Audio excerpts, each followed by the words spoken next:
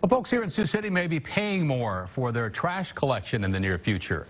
The City Council approving a second reading today of a new ordinance that would increase garbage collection rates. That measure still needs a third reading and approval before it could go into law on July 1st.